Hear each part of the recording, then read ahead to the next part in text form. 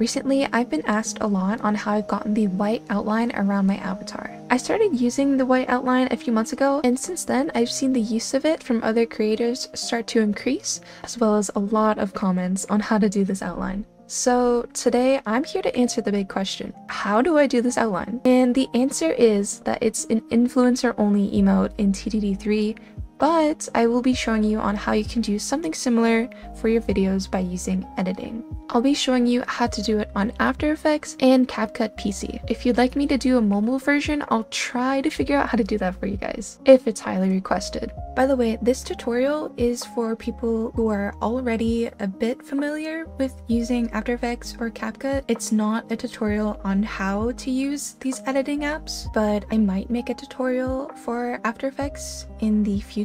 But for now, this is just on how to do these effects if you're already a bit familiar with these programs. So first off, import your clip into After Effects, cut it to the length that you want the clip to be, and then scale it up to however you want. Then pre-compose your clip, duplicate it, and then pre-compose the top duplicated clip. And then go into the pre-composed top clip, then head over to the top row here and select Roto Brush. Double click on the top clip and begin drawing over your avatar. This is how you will mask your avatar. Go frame by frame, adjusting the masking to however you like. By the way, a little tip is sometimes I like to turn on this little option over here just to make it a bit easier to see which areas need to be highlighted. Once you're done rotobrushing your clip, head back to the main composition and then duplicate the roto brushed clip.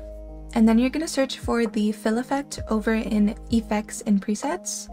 And then you're just going to add that onto the bottom rotobrushed layer. And then you're going to search for the simple choker effect as well. And then bring that down to about like 24 or wherever you see fit. And then you're going to search for the glow effect as well and then turn the glow radius up a little bit and there you go. That's how you do the outline in after effects. And then after that you can go back to your main composition and then just add any other overlays or effects under the masked layer. Next, I'm going to show you how to do the outline on CapCut, but be warned that CapCut PC may be a bit buggy. I had issues doing this while trying to record, so I'm not certain if this will work for everyone, but I will still show the method of how I remade the outline on CapCut. First, get your clip, cut it to the length that you want it, scale it up however you want, and then compound the clip. Duplicate that, drag the duplicated clip over to the side, and then go to remove BG and click on the brush tool. I'm not being very precise with my masking, I'm just doing it quickly for tutorial purposes. And then once you get the masking to however you like it, duplicate that clip and then click on the bottom clip and go to adjust, go to basic, scroll down, turn whites up to 50 and then go to curves and bring the Luma curve all the way up to the top left corner.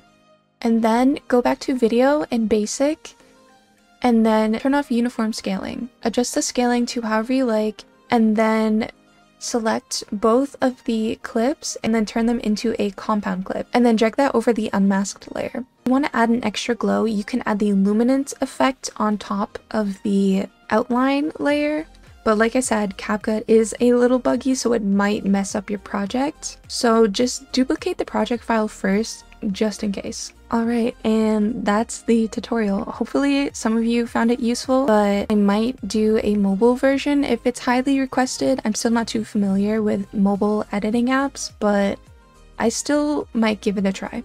Anyways, thank you so much for watching. Um, please subscribe, like the video, and leave a comment on any other tutorials you might want to see me do in the future. Okay, bye! Have a good day!